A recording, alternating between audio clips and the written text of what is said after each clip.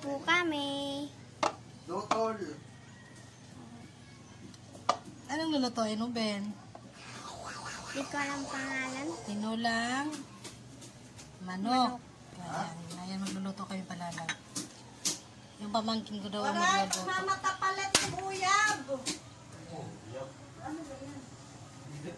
Ano yan?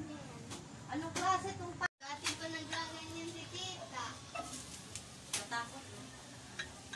Ba't gano'n yun? Sa ano? Pe, ano? Sumabo. Ako magano. Sa mag-aalo? Basta wag lang pag ano ah. May mantika. Baka ano. Ano? Baka matalsikan ka pag ikaw magluto at saka ang taas ng lutuan natin.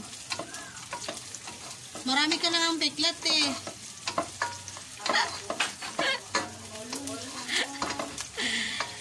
Mamaya, mamaya, ikaw na lang magtikim.